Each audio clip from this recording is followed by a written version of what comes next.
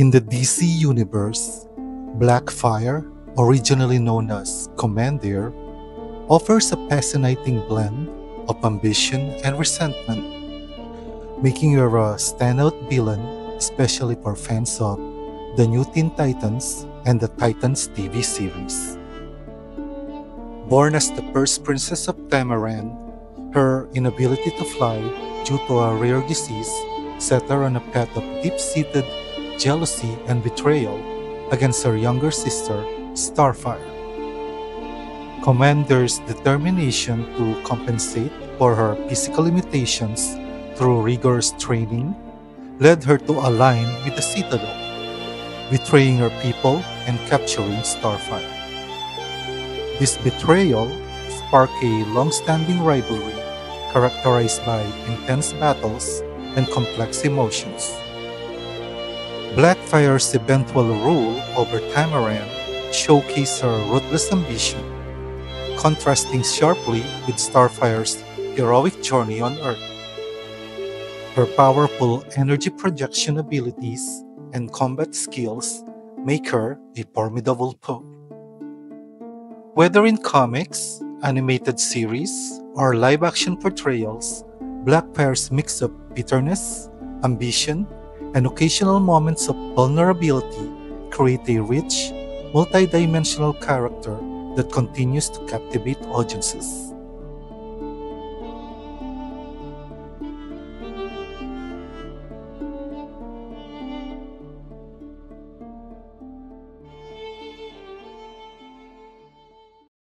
Hey yo everyone!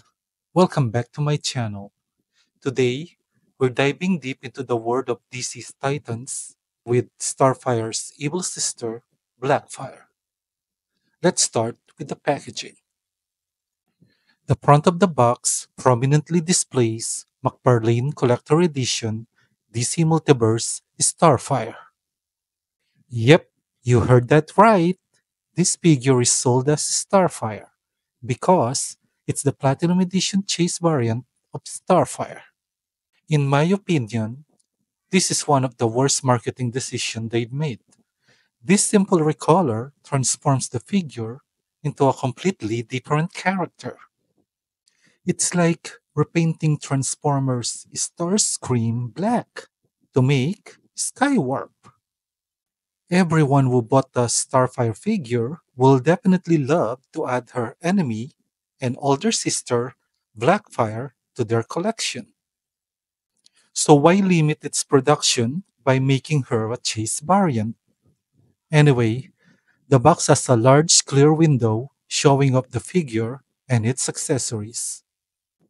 On the right side, you'll see McFarlane Collector Edition, DC Multiverse Starfire, DC Rebirth.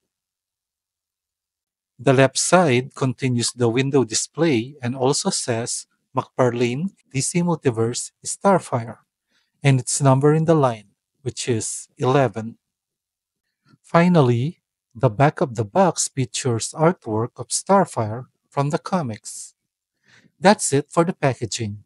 Now, let's crack this open and see if McFarlane did justice to this version of Blackfire in action figure form. The figure stands at 7 inches or 18 centimeters. For accessories, the figure comes with the energy effects that are too big for the figure. Standard McFarlane flight stand. And the art card and art card stand with a short biography at the back of Starfire though, because as I said, this is marketed as the platinum version of Starfire, not Blackfire.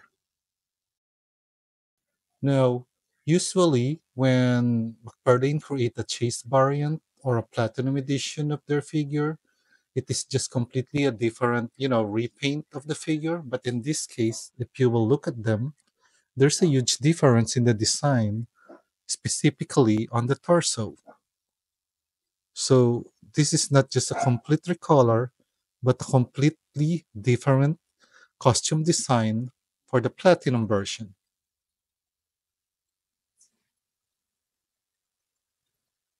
Now, I tried to search some costumes or looks of Blackfire in her comic version through the net, and this version I think is the closest one that they tried to replicate in this action figure form.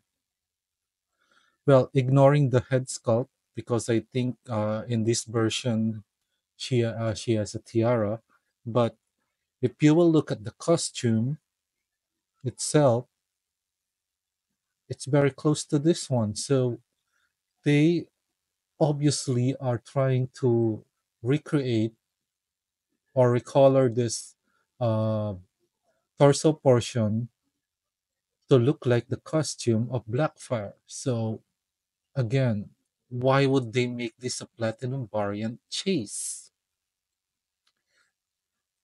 figure? I mean, I don't really understand.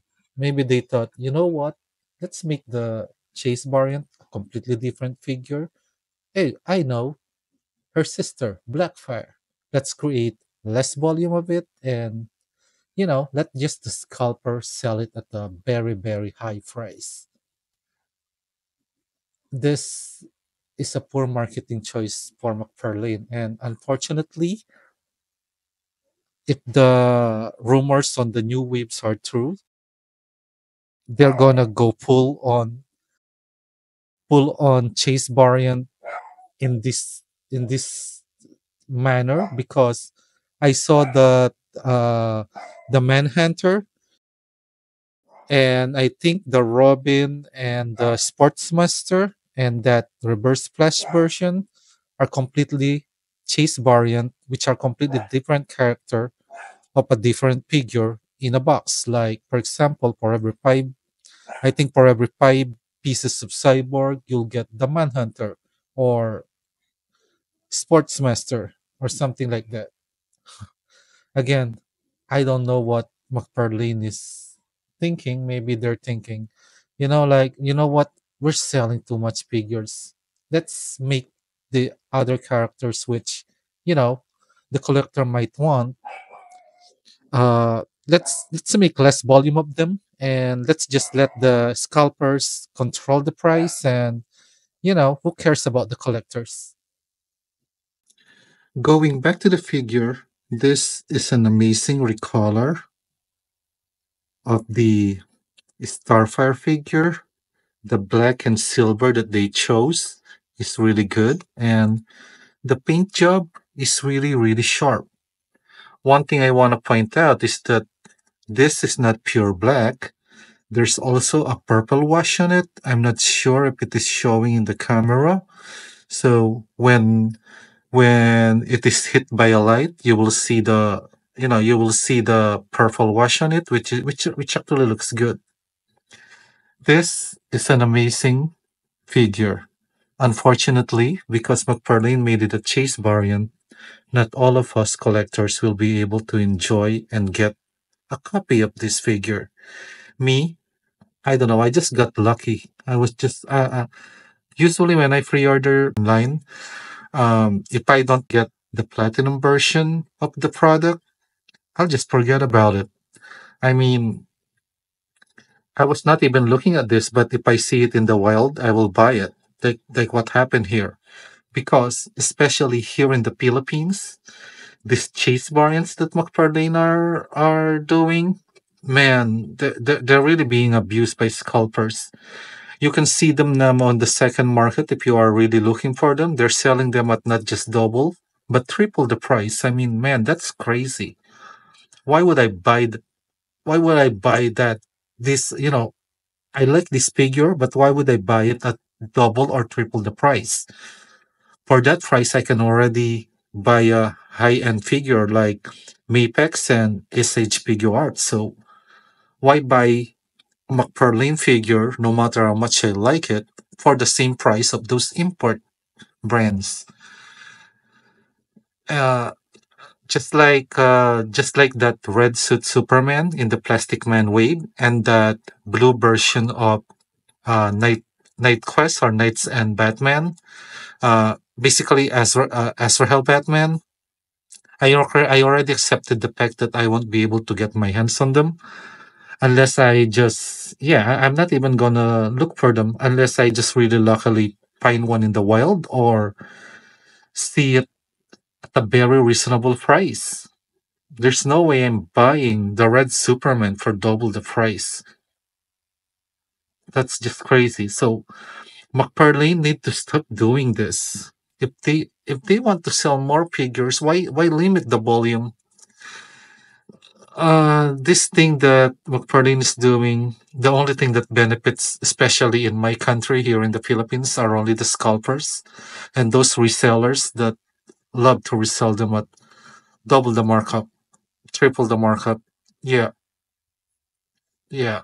That that's really that's really a hit for us collectors. And moving forward, if that uh, if, if what I heard, uh, if the rumor that I heard is true, that as I said, McFarlane will go pull on chase variants of completely different character for every box of figure that they that they sell. Like I said, for example, for one box of Cyborg Superman, you will get a chase variant of Manhunter. I mean, that's crazy, man. Why not chase? Why not sell the Manhunter separately? A lot of people, especially me, who, who is a huge fan of the Green Lantern, I I I, want to army build that Manhunter, but how will you army build it if it is a chase variant? Again, that's a crazy marketing decision for McFarlane, and I don't know what they are thinking. They want to go pull on on it. Anyway, guys, I'm I'm not gonna go to the articulation of this figure anymore because this is basically the same as the Starfire mold. If you want to see my, uh, if you you're you're if you still want to see the articulation of this figure, just look, you know, go to my review of Starfire, basically the same mold.